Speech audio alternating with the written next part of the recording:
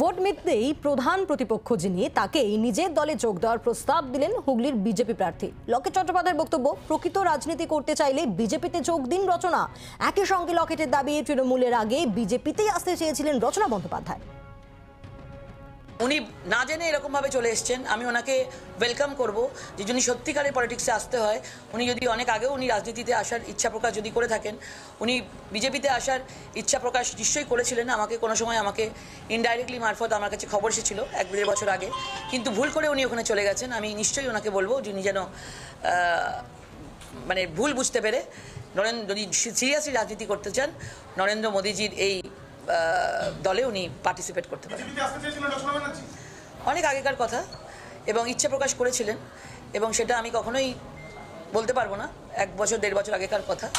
কিন্তু হয় যেটা নিশ্চয়ই তার কাছে সেভাবে সুযোগ আসেনি।